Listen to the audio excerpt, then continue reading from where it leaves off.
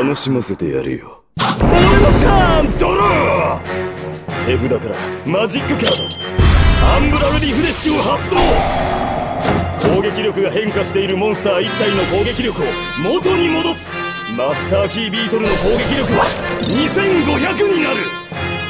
そして戻した数値分自分のライフを回復する。